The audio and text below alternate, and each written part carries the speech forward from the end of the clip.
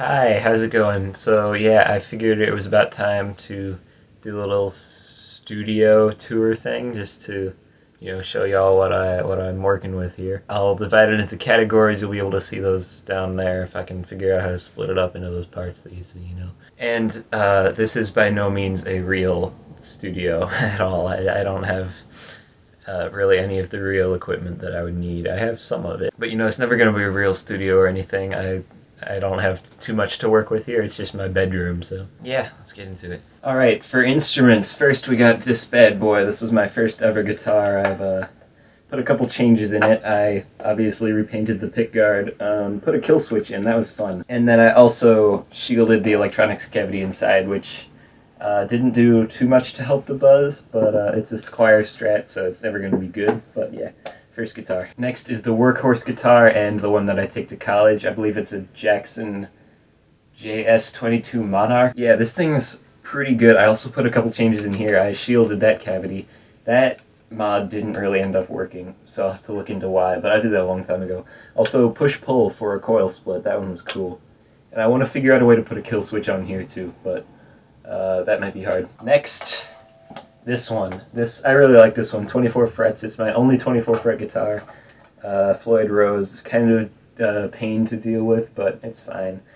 This is Jackson JS22 Dinky or something, or maybe it wasn't 22. Um, humbucker, single coil, single coil yeah, this one's five-way selector and all that. I, I really like this one. Can't complain at all. Looks pretty cool too. Next is my acoustic guitar. It's missing a strap button, but that's the only thing wrong with it. It also seems a little quiet sometimes, but you know, it works. It's an acoustic guitar.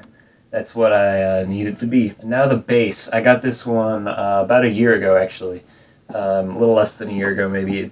Jackson JS3Q Spectra. It has five knobs and a switch. So many options for uh, sound. is you can split the coils, you can do active or passive, um, active three band EQ. It's really sweet, uh, and it was only like four or five hundred dollars. This is a nice instrument. Now for a couple more miscellaneous ones, I have a ukulele that I don't play too much, but um, it's so small that I'd be able to take it to college, and maybe I can uh, start writing some stuff on here. That would be cool. This is my mom's clarinet from when she was in uh, elementary school, I think. I haven't started too much on this. I've made noises. They're not very musical noises, though. I will be working on this, and maybe you'll see it in a video in a year or two. I have this thing. Uh, that needs tuning, I think. It, I've not used it since some kind of class when I was younger. I forgot exactly what it was, but yeah, I have this. And a kid's xylophone. Yeah. Uh, also haven't used this in a long time, but I have it too. And then uh, there's this box of miscellaneous instruments. There's a recorder, um, there's a bunch of random percussion things like shakers, a couple wood blocks and stuff, kazoos, uh, and Thomas the Tank Engine whistle. Yeah. And then I have this as a keyboard, uh, Casio WK6600. It's a pretty nice keyboard. It's got a lot of sounds and it's you know, it works. And then uh, this is my drum kit. Really not much. Uh, Gretsch Blackhawk, I believe it is.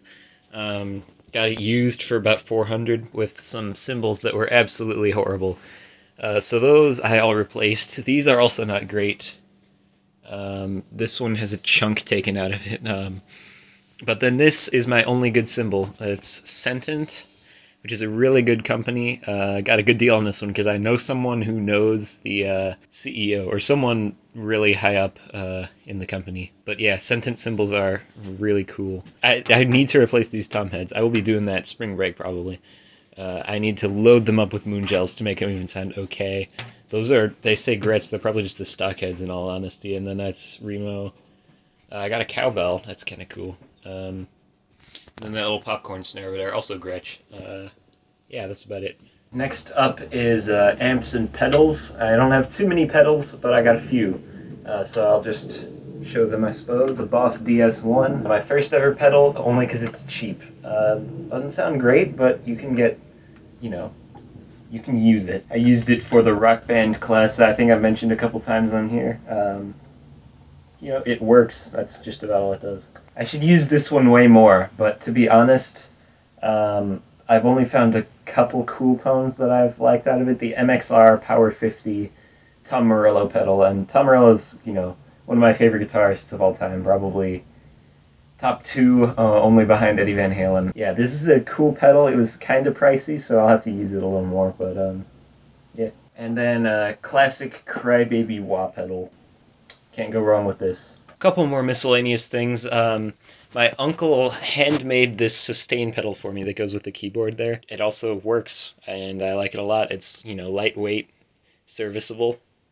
And then also there's this thing which controls my amp. It's just a foot switch. Fender GTX7, I believe. Um, you can change presets, change effects, all that stuff. It's got a tuner built in and a looper as well. And that foot switch controls this amp, the Fender GT100. My first good amp and you know arguably my only good amp because my first one sucked yeah this thing's cool it's got so many effects and all that uh, I will probably start using it less just because it's kind of big, and I have a an amp modeling software that I really like. I'm going to talk about later. And bass amp that rarely gets used. Usually when I play bass, I just have it go straight into the interface, and then I add whatever effects I want in the DAW. But yeah, I have a bass amp. Use it for jamming if I have a couple bandmates over or something. Next up is what I'm gonna call uh, physical recording gear or something like that. So to start off that category, right here, the uh, MXL 770, I think. It's about a hundred bucks. It works. Sounds all right from what I can tell, but I'm no expert, of course. We're not going to talk about fixing the shock mount with the rubber bands. That's all I had at the moment. But yeah, this uh, nice little condenser microphone. And then I got this thing, uh, the PV uh, PVI 100. It was cheap, like twenty dollars or something like that. But it also works. It's got a switch, which I like. Dynamic microphone. Nothing too fancy there. I bet you see these everywhere. Mic stands. I have this Boom one that's kind of obvious. I also have this one that I got very recently. I haven't used it too much, but it will come in handy, especially for drums. In this category, my audio interface, the Focusrite Scarlett 8i6, third generation, I believe. I wish I had more instrument inputs, but it's fine. I don't really have, I should have something that works with the line inputs, but the keyboard, I think the line outs are broken because they're coming out instrument level, but anyway, yeah. Uh, only two inputs for XLR or instruments, which is kind of unfortunate. It's a solid little interface. I've had it for uh, getting close to three years now. Now I'll talk about software for a little bit. For my DAW, the most important one, arguably, I've been using Ableton 11 uh, Lite version, which is free. You only get eight tracks, which sucks. So that's why I'm going to try to transition to Reaper, which is technically not free. So don't treat it like it's free because it's not. But they do give you 60 days free, and then the license is really cheap, like $60 for a lifetime or something. So yeah, I'm gonna be moving over to that. That guitar software I mentioned earlier is Amplitube 5 Max. I just got it a couple weeks ago, and it's really sweet it's I got a big deal on it too. It was I think it's six hundred dollars originally. I got it for one hundred on a sale. So yeah, I might not have gotten it uh, originally, but um, had to snag it at that price, you know. I also use a whole bunch of free plugins that I found on the internet, as well as Ableton stock plugins. I'll roll some uh, footage or a picture of a list of the plugins I have. But yeah, for a uh, broke college student, the free ones do just fine. You know, I'm not a pro, so I don't really need pro stuff. Especially the Ableton stock ones, though. You get a lot of options. I will miss those when I uh, move over to Reaper for sure. And then for recording, streaming, uh, screen recording, that type of thing, I use OBS Studio, which is too good to be free, but it is free, so yeah, I can't recommend that enough. And then also, why not throw this in? Uh, DaVinci Resolve is my video editor. It's also uh, really good, especially for something that's free. It does slow down my computer a lot. My computer's not even that bad, you know, it's new, it's got a good amount of processing power, and it's still pretty laggy, so uh, it's a big application. I maybe should have thrown this in the amps category. Um, the speakers I use at home are a little bit too big to take to college. Logitech, it's I forget the, I forget exactly what it is. It's basically just computer speakers plugged into a small subwoofer. I'll uh, there. I don't know if you can see that, but um, yeah, there's one, and maybe there's the other. Uh, they sound okay, especially when plugged into that thing, if you can see that. Definitely no replacement for studio monitors, though. Also in the miscellaneous category, this webcam, it advertised itself as HD, but it's really not. Uh, it was on sale, so I didn't waste too much money, but probably not going to use that for that much. Also, I have a bucket of sheet music down there. I need to sort that very badly, and then uh, nightmare of cables back there. So the big thing, the keyboard, same one from home is here. I use it as a MIDI controller, but also just as a keyboard with all the presets it's got. There's the pedal. Uh, I brought my wah pedal. I uh, have started the transition to Reaper, which is nice. I'm really liking it so far, and no 8-track limit, which is super sweet. There's my audio interface too. And I didn't bring those speakers that I had at home, just a bit too bulky, but I do have that. It doesn't sound great, but it works if I am tired of wearing headphones. Speaking of headphones, I just got these um, a couple days after I moved back into my dorm here. The Sony MDR 7506, they're alright. I'm used to things with a little bit more bass, but um, these are supposed to be really accurate, so I will adjust to those and start mixing with them. I also have that amp back there, um, which I left here over winter break. I'm probably not going to use it because I have that Amplitube software, but yeah, it's there if I want to use it. And there's the webcam. The microphone setup is a little cursed. Actually, it's incredibly, unbelievably cursed. Um, so yeah, my clothes drawer doesn't close all the way anymore because that's the only place uh, where I could put the mic stand. So, uh, yeah, I can't close that, but uh, at least I have a microphone. And there's Eddie. Hi, Eddie. I brought the black guitar that you've seen in this room before, and new for this semester, I also brought my bass.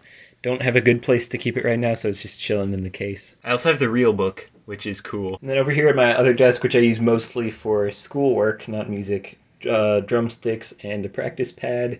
Then I also have this MIDI controller, which I'm not using right now because I only have one um, MIDI cord, and it's being used for that guy. And then I just have a ton of cords on my bedpost here. So yeah, that's it for this video. I'll just use this opportunity to say um, a couple months ago now, I hit 100 subscribers. I have 111 at this moment, I think, which is really cool. That one uh, November Rain video got like 13,000 views. It was a short, which makes sense. I got like 45 subscribers from that one video, which is just nuts. But yeah, road to 200, I guess, to use the cringy, overused saying. It would be cool if we hit 150 by the end of this semester, so early May. But uh, if not, you know, I'll get there eventually. I just uh, do this for fun, so uh, if you want to stick around and watch more stuff, feel free. I would appreciate it. But if not, I understand completely. My uh, production value isn't exactly the, the greatest right now. There's a big light over my head. I should have thought about that earlier. Oh well. But anyway, that's it. Have a nice day.